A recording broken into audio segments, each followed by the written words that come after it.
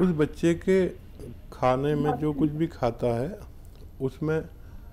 अदरक या सौंठ ज़रूर मिला दिया करें थोड़ी सी जो भी वो शौक से खाता है, जैसे कोई जूस पीता है, उसमें एक चम्मच अदरक का रस मिला दिया करें, कोई उसकी पसंदीदा चीज़ में तो उसकी भूख खुलने लगेगी धीरे धीरे और लीवर ठीक होगा, पेट का सिस्टम ठीक होगा